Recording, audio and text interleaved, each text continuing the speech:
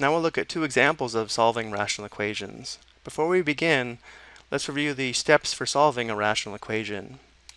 First, we need to identify the values of x that make the denominators 0.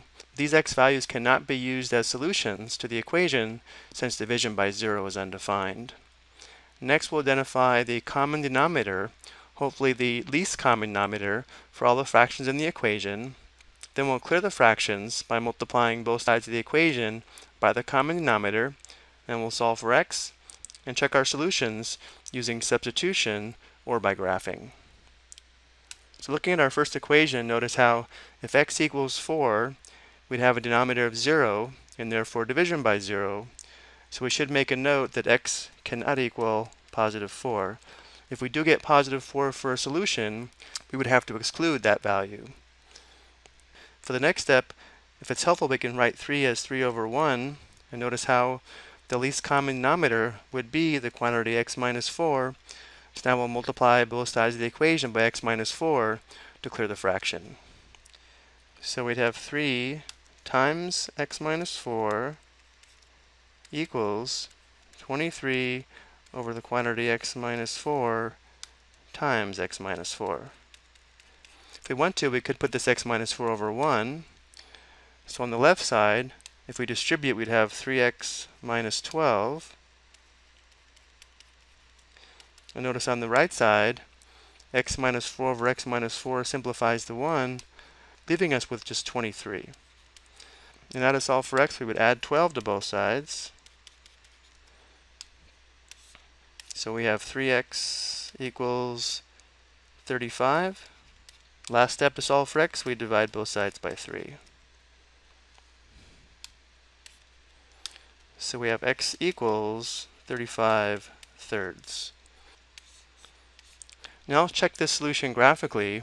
To do this, we'll enter y sub 1 equals 3 on the graphing calculator and y sub 2 equals this quotient.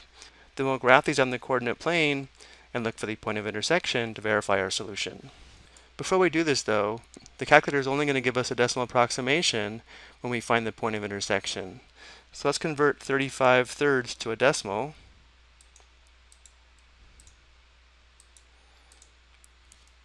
This would be 11.6 repeating. Now we'll press y equals, enter y1 equals 3, and y2 is going to be 23 divided by the quantity x minus 4. We do need parentheses around the entire denominator for y sub 2. Now if we use the standard window by pressing zoom 6 we won't see the point of intersection because remember, the x-coordinate of the point of intersection is supposed to be 11.6 repeating. So in this case, we'll have to increase the x maximum. So we'll press the window key, and let's change the x maximum to 20, and press graph again. And now to find the x-coordinate of this point of intersection, we'll press second trace, for the calculation menu, option 5 for intersection. And now for the first curve, notice how we're on this horizontal line, which is good. So we'll press enter. For the second curve, we want to be on this piece of the curve here. Notice how we cannot see the blinking cursor, but we do know it's at x equals 5. Let's press the right arrow here and make sure it's on the correct piece of the curve, which it is.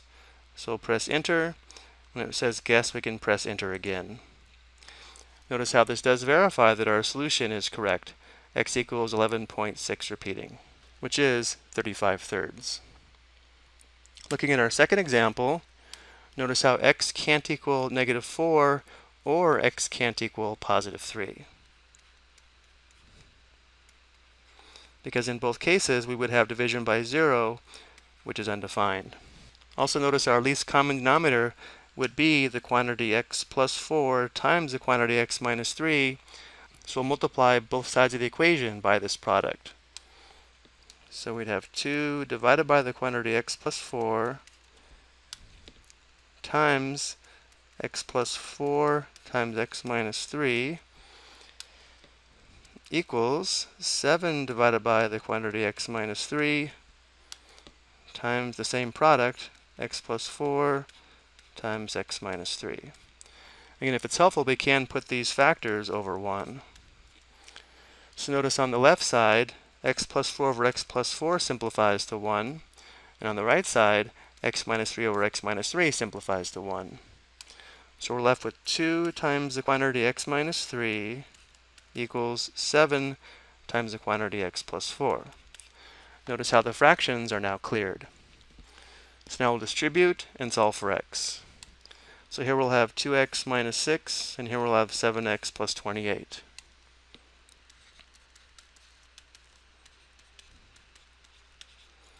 Let's go ahead and subtract 7x on both sides.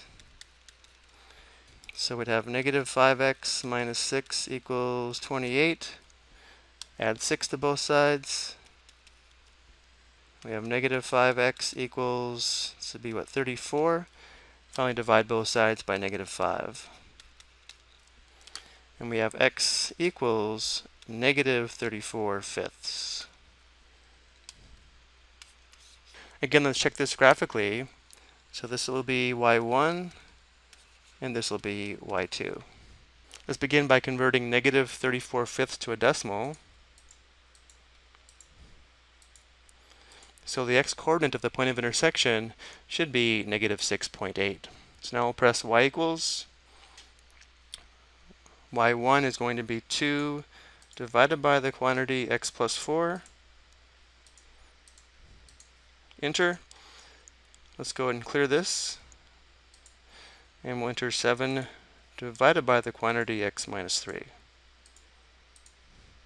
Let's use the standard window by pressing zoom 6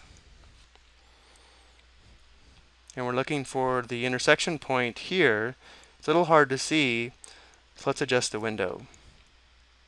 We'll press window. Let's decrease the y minimum to negative 20. Let's also change the y values from negative 5 to positive 5. And let's try this by pressing graph. So we're looking for the x-coordinate of this point of intersection here. So we'll press second trace, option 5. Notice how we are on the correct piece of the curve here. So I'll press enter. Notice for the second curve we're on the correct piece.